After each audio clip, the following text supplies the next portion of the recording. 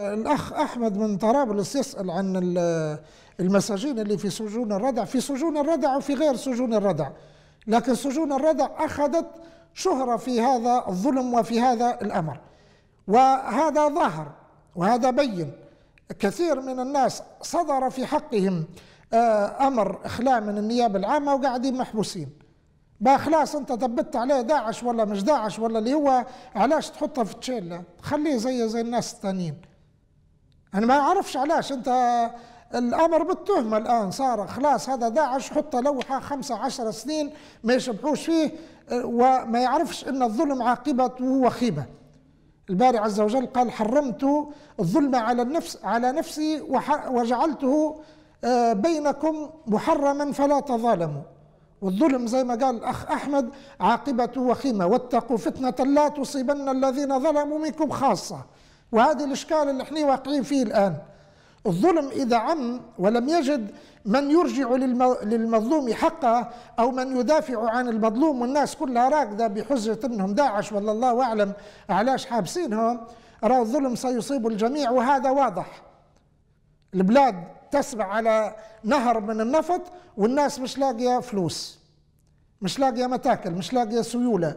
الدولار بستة وتونس اللي بتعلن افلاسها ممكن بعد شهرين ثلاثة الدولار متاعها أرخص من عندنا إحنا هذا الظلم راهو الظلم سيء. واتقوا فتنة لا تصيبن الذين ظلموا منكم خاصة. ستصيب جميع الليبيين وهي قد أصابتهم. فإما أن نحمل على يد الظالم حتى إحنا ما قلنا لكش طلعهم من داعش ما قلنا لكش طلعهم لكن بين إن هذا داعش وإن تبتت عليه وبعدين عامله معاملة آدمية زي زي باقي المساجين. أما إنك خلاص تقول والله هذا داعش إحنا نسكتوا بعاش نتكلموا ولا هذا صفته نعته خارجي ولا مش عارف شنو ومش الردع بس كل السجون فيها هذا الظلم.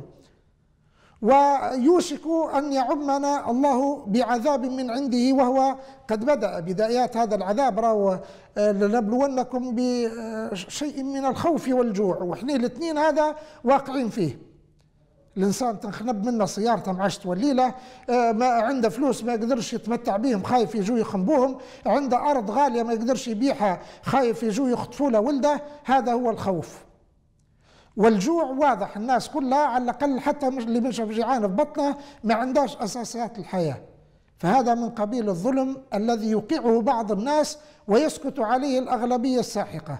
فإما أن نأخذ على يد الظالم وإما الله أعلم الأمور إلى أين تصير. آه هذا الشاعر قال آه لا تظلمن إذا ما كنت مقتدرا. فالظلم عقباه ترجع إلى الندم تنام عيونك والمظلوم منتبه يدعو عليك وعين الله لم تنم.